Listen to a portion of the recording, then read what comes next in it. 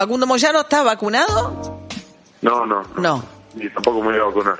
No. Ah, cuando toque, supongo, alguna por, vez. Por más que por más que me toque, no me voy a vacunar. ¿Por? No sé, es como que no le, no, no, no, no le siento buen olor al, al virus. Te- te- Tengo una cuestión personal de credibilidad y un análisis profundo de, de, de- de la pandemia en general y visión del poder, cuestión geopolítica. Es, es largo, pero no, no, no, no sé, no me convence. La vacunación.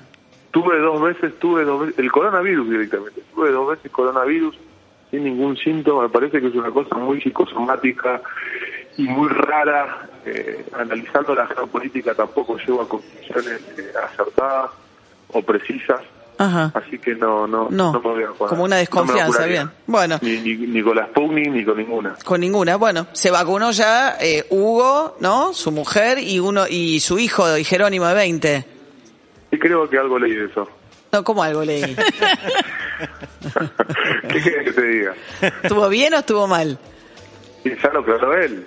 No dijo que estuvo mal, dijo que explicó por qué se lo hizo, pero no dijo que estuvo mal.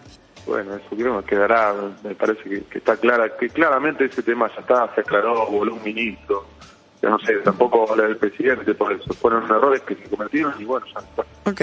Facundo Moyano, diputado de la Nación por el Frente de Todos, bueno, nuevamente más cerca de Sergio Massa, nuevamente moviéndose en el ámbito sindical. Eh, gracias, Facundo, con el de la discusión de ganancias que se está dando en la Cámara de Diputados. Gracias y buen día. Gracias, María, gracias.